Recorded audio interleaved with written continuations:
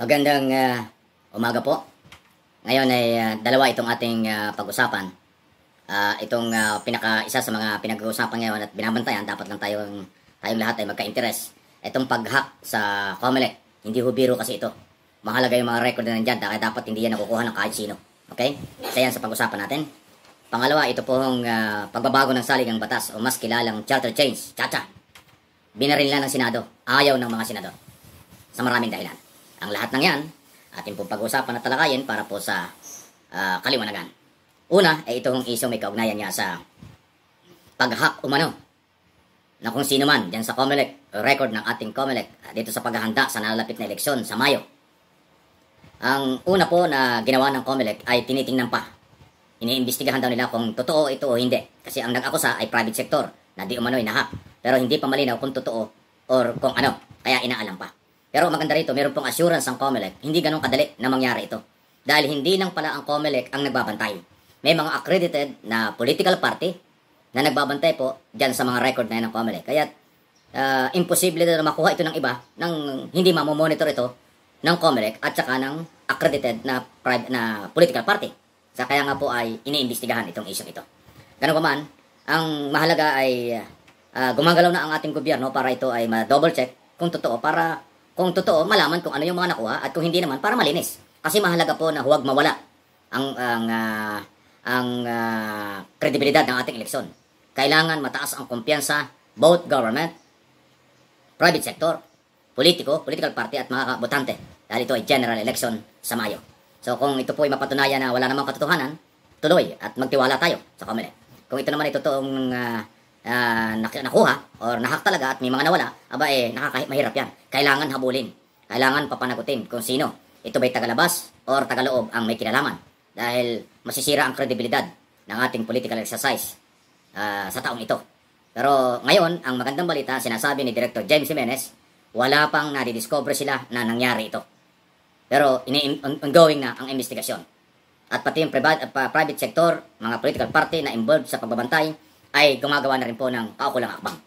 At kung sino man po ang gumawa nito, makonsensya naman kayo. Napakahalaga ng general election. Presidential hanggang sa local ang posisyong ilalagay natin. Mahigit na 18,000 posisyon ang mababakante sa July or sa June 30. July 1 magsisimula. Eh kung isasabotahin ito, masisira naman po ang ating bayan.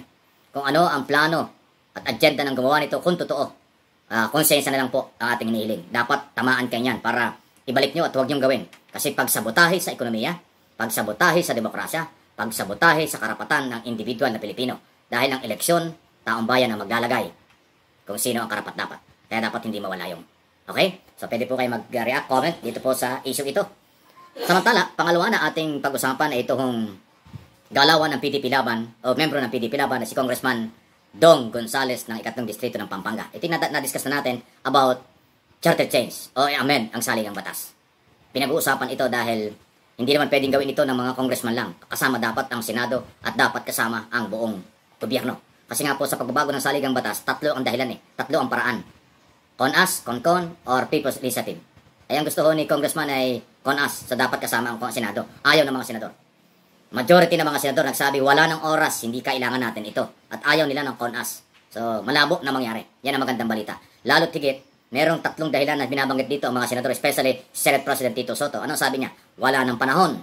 Walang pera para sa plebisito. Kasi ang kailangan niya, plebisito. Tatanungin ng tao kung pabor o hindi sa pagbabago ng batas. Pangatlo, yung yung CONAS, hindi yan ang masusunod. Kailangan mas maraming involved na tao sa pagbabago ng saligang batas. Yung tatlong mahalagang yan, nireject na ng Senado. Kaya malabo. Kaya huwag tayong, huwag kayong magpanik. Ah, doon sa mga nababahala na ito ay magagalaw, malabo. Pang-apat, napakahalaga nito. Ang ang gusto kasi ng congressman, term limit ay yung alisin. Ibig sabihin, ten, uh, term ah, extension, pananatili ng mga nakapwesto mula Pangulo hanggang konsehal, mananatili. Yan ang ayaw din ng mga senador. Kaya malabo talaga. At ayaw din yan ng taong bayan.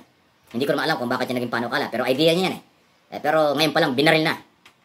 Ah, hinaharangan na ng mga senador. Sabi ni T- Senador Tito Soto, hindi ganong kadaling makakumbinsi sila. Actually, ayaw nila nitong ah, pananatili, yung extension ng mga nakapwesto, incumbent government official dahil ayaw na ayaw ng taong bayan. Ang sinabi nga ni Tito Soto, kung magkakaroon ng plebisito, sigurado panalo no. Panalo ang ayaw ng term extension. Kaya malabo po ito. Pwede raw itong gawin after election. Sa susunod na administrasyon, bahala na kung sino, kung anong gagawin ng susunod administration.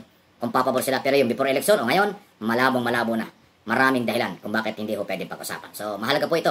Alam niyo, pag saligang batas at eleksyon, lahat tayo ay mag-participate. Meron tayong kalayaan, meron tayong boses, lalo na ngayon. Hindi lang sa broadcast, pati sa social media, nakatulad nito. Malaya po kayo makapagsasalita, makakapagkomento, dahil nakataya ang inyong kinabukasan, ng inyong pamilya, kapag ka ho ang political exercise ay nagkaroon ng problema, o yung ating saligang batas ay ginalaw ng wala sa lugar, at ah, may pinapaboran lang. Yan po yung masama. Kaya mahalagang aware tayo at huwag nating ibaliwala ito. Kahit alam ko na busy kayo sa trabaho, busy kayo sa mga business, pero ito ipinaparating ko sa inyo para magkaroon po kayo ng ka- ka- kaalaman o idea, madagdagan ng kaalaman kung paano ang inyong karapatang makisali. Kaya pwede po kayo mag-comment, hindi lang sa channel na ito, kung hindi sa inyong mga, pwede kayong sumulat or ah, mag-comment, mag, ah, magpunta sa mga website at ah, umapila kayo sa mga politiko na huwag galawin. At sa halip, magkaisa ayusin natin ang ating nalalapit na eleksyon. Actually, ang Malacanang, malamig din sa Malacanang ang issue ng Chacha. Eh. Nakakonsentrate ang Malacanang sa issue ng paano ayusin ang problema sa pandemya, paano ayusin ang ating papalapit na eleksyon, paano tulungan ang ating mga kabayan biktima ng kalamidad na napakalawak sa Mindanao ng bagyong si Odette. So, yan po yung ginagawa ng palasyo. Pero kayo, ako, magtulungan tayo. At ako naman ang aking magagawa. Bantayan ito, iparating ko sa inyo kung ano nangyayari. At kayo po ang malayang makapag-decide, makapag-comment, at ah, mag-aral dito ho sa mga isyong pambayan. Nakataya ang ating kinabukasan. Marami pong salamat. Uli, God bless sa ating lahat.